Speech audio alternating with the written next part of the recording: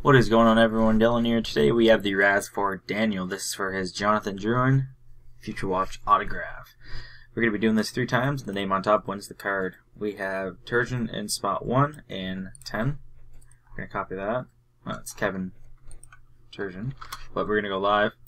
So, best of luck to everyone in this Raz. First, we have Kevin on top. Second, we have Kevin again. 16, 55, 35 is the second random. We're going to copy and paste that into the thread. Then we're going to verify that it is 12.55 p.m. We have 12.55, May 6th, Saturday 2017. And the winner of Daniel's Drouin Future Watch Auto. Good luck, everyone.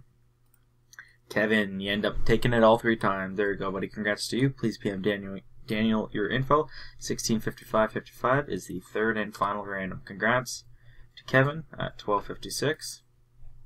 You are the winner. Congrats once again. Spot number nine. Please PM Daniel your info.